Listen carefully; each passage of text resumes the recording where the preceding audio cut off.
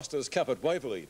The match brings together two teams who've had mixed success in the night competition over recent years, as Michael Roberts reports. Melbourne are proven night campaigners, having taken the 87 and 89 flags. And coach John Northey admits with added depth this year, the stage is set for another strong series.